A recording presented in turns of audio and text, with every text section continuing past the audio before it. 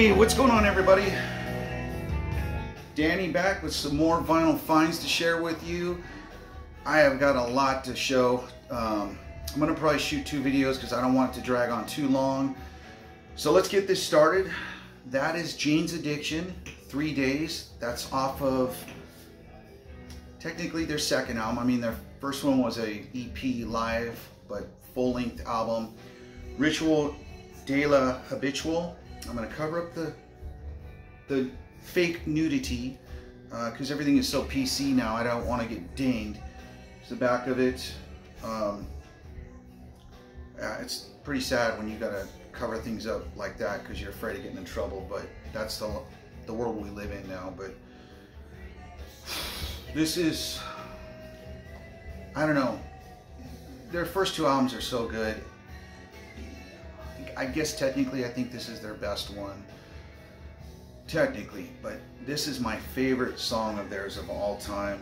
Um, such a good album from start to finish. This came out um, in 1990. This is actually a, a first press that I'm, I'm, showing you right now. I have been hitting it really good, um, some good items lately over at uh, Standard Records in Vista.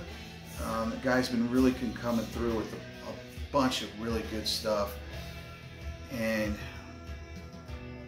you only have so much money, but you get what you can get. Like, yeah, I couldn't pass this up. It was a really good price. First press, like I said, it's on Warner Brother Records.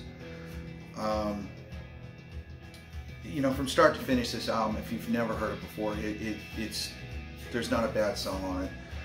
Uh, Stop, No One's um, Leaving, Ain't No Right, Obvious, Been Caught Stealing, Three Days, which we're hearing right now. Then she, then she did, uh, of course, in Classic Girl. And I can't say enough about this album. It, it is such a good album. And, you know, this is, of course, their classic lineup. Perry Farrell, Dave Navarro, um, Eric Avery on bass, and Stephen Perkins, their drummer god damn, that guy's drumming is is off the charts. I, he's definitely my probably my top three drummer of all time. I, I just love his tone. His, his he is such a good drummer. I mean, just listen to the music and listen to his his playing. It, it's just so good. Um, yeah, so let me show you the rest of the stuff I found over at Standard Records. Um, this is X's first album. LA early punk band, if you're not familiar with them. Um, John Doe, Exene, and Billy Zoom, I think. I don't, I don't recall the bass player's name, but, or is it the drummer? I think that's a drummer. Shit, I don't know. Um, really good. This this album from start to finish is another good one. This one is on Music on Vinyl and this is a 2010 reissue 180 gram. I couldn't pass it up for 12 bucks. I mean this guy just keeps coming up with these deals that you know like I said I've got the original copy um, you know doesn't hurt to have a next one you know in case you need it for something else maybe trade it but the other one I came up with that I didn't have is Under the Big Black Sun uh, this again is another reissue. This is um, 2010. That actually, the first one's a 2015 reissue. This one's 2010. I got them mixed up, but yeah, it's it's a good album. Um, it's on Porterhouse Prime Vinyl, which I don't have anything on from Porterhouse, but sounds good. It's 180 gram. Probably one of your most notable songs on here is Hungry, The Hungry Wolf. I think there was a video for that back when I was a kid. And show you the, the label.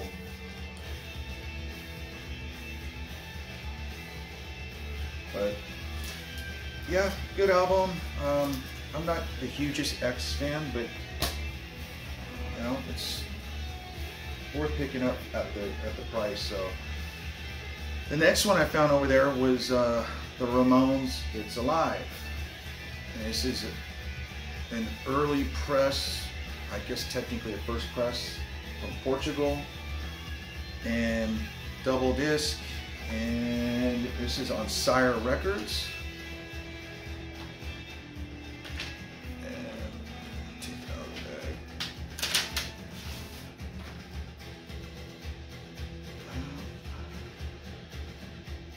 The vinyl is just immaculate. It looked like it had never been played. And again, this guy's just coming up with such big titles over there in original pressings that um, I don't know where he's coming up with it, but I'm happy to get it because everything else seems to be drying up around here. You know, it's a live album. It's their first live album. It's basically has all their hits. Um, you know, Rockaway Beach, Blitzkrieg Bop, um, Havana Affair. Um, it's it's all on there. You, you, won't be disappointed if you're a Ramones fan and you've never heard it. Uh, it. It was surprisingly, I thought the quality was really good too. It sounded really really good. Not that I th- think it was going to sound bad, but um, you know, live recordings sometimes aren't as good as you'd hope they'd be. And then I think the last thing I found over there was um, the Horrorpops Kiss Kiss Kill Kill. And if you're not familiar with the Horrorpops, this is uh, 2008 US Press, and they're labeled punk, uh, rockabilly, definitely rockabilly, but the, the psychobilly is another category that they fall under, I guess. Um, kind of have a horror theme with their music. Really good. If you're into rockabilly and you've never heard of them, which I'd be surprised, go check them out. Really good. Um, I don't remember their names, but I think they're a three-piece band now, and these are probably the three original members. I don't remember her name. She's the vocalist, and Nekroman is the guitarist. He's he plays bass in the Nekromantix, which is another horror-based rockabilly, psychobilly band out of I don't know Finland or somewhere like that, somewhere in Europe. But uh, really cool. Um, I've had the pleasure of seeing them a couple times, and they were great. But again, another good find over it at um, Standard Records, and there's the I believe they're on. This is on uh, Hellcat Records, and nothing really fancy to show you on the label. It doesn't even doesn't even have the track listing on there, which is kind of weird, but yeah. It's um basically just gives information on the album. Doesn't again kind of weird, but so that does some of my finds for Standard Records. I've got a bunch more to share with you. I'm going to do say that for another video. The other things I wanted to touch on, um, I'm a little late in the game on this because I know uh, Vinyl Richie uh, touched base on this a few uh, posts uh, back, and uh, Metallica Walmart uh, series, um, if you will. These are the colored uh, versions uh, exclusively to, to Walmart. And these were super, super hard to get when they first came out. And all of a sudden they're popping up at Walmarts all around the place. And I already had a couple of them, so I have to complete the collection if, if I can find them. I mean, they're only, this was 22 bucks, 23 really, but um, yeah, so if you're looking for these, go check Walmart. You, you'll probably find one or two of them. I found this one. Again, if this is if you've never heard this album, God, you're missing out. If you if early thrash metal, early Metallica, very very um, raw. Um, you got Ride the Lightning, For Whom the Bell Tolls, Fade to Black, Trapped Under Ice. I mean, the whole album, start to finish, is good. I don't need to read every song off to you, but those were the bangers on it. And the other one I found there was this one, Kill 'Em All. Another one really hard to find. I think these are the two hardest ones to find in Master of Puppets. I don't know which one's the hardest of them all, but um, yeah, I, I couldn't pass this up when I found it. Um, I like, I haven't even opened them up because I have original copies of both of them. So I'm just gonna leave them sealed. And the other one, I found this at Walmart, but I actually purchased it online from Walmart. And this is the their new, um, what the hell is it called? Um, Jin, uh, shit, I don't even know how to pronounce that. I don't know, whatever. It's their new album. Um, Jinjitsu, or I believe, I don't know. I haven't opened it. I've listened to it. I don't want to say I wasn't impressed. I just it didn't really do much for me. It's it's just kind of the same shit over and over again. There's, it seems like their songs are getting more epic and longer. Every every every damn song they do is like ten minutes long, and it, it just it kind of bores you to death. I don't know. It's it's good, but it's I don't know too much. Um, so yeah, I even found that there at Walmart. So if you're looking for it, it, it, it is kind of hard to find, but um, you know, I've got to complete the collection, so I picked that up. And then I actually got this one in my favorite shop in San Diego, Record City. Um, my buddy over there suggested I'd probably better pick this up while I can because it, it, looks like it's drying up as far as picking these up anymore or ordering them. Um, maybe they're not being pressed anymore but this was the last one I needed um, under the Bruce Dickinson era Iron Maiden, which he's still currently in them, but he did drop off for a while. But I have no desire to pick up the two albums with Bass Blazy on Bass Blaley, Blaley on vocals. Not for me.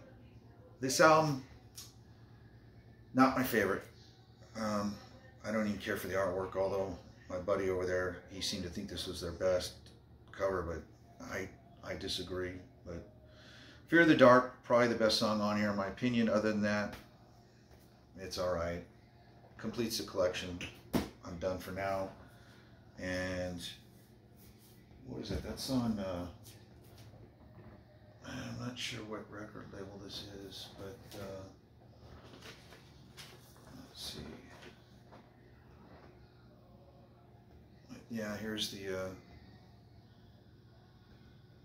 looks like. Kind of a skeleton, kind of like what's on the cover, slightly what's on the cover. 180 gram. Um, it's good quality. Sounds good. Um, just not my favorite.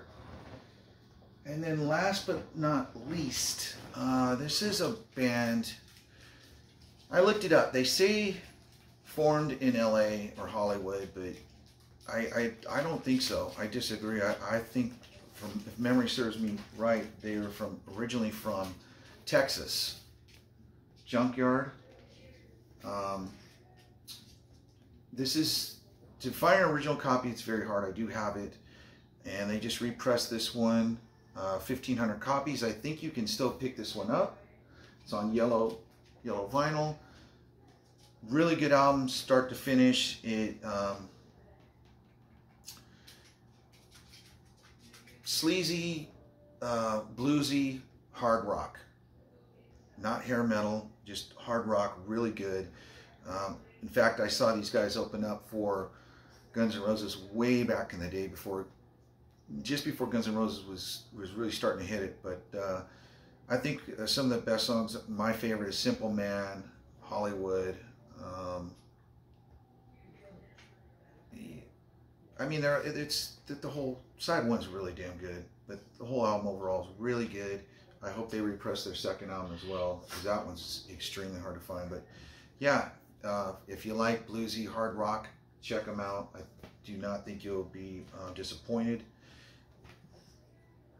The funny thing right here, this dude right here, I don't know his name, but he is the guitarist for Minor Threat.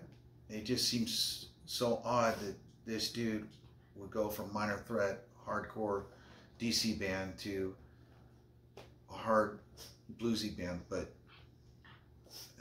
you know, just seems like kind of a weird transition. But hey, man, it worked. It was a good band. I believe they're still putting music out together. I don't believe he's in there anymore. I think he, in fact, I think he's either with Bad Religion or maybe he's not there anymore. But kind of jumped around from bands. But anyways, um, that's about it. I hope you enjoyed it. And um, like I said, I've got some more to share with you. And uh, don't want to make the videos too long, so um, probably going to shoot another one here in a few minutes just to have it locked and loaded and ready to share with you guys. So hope you enjoyed it. Check you out next time.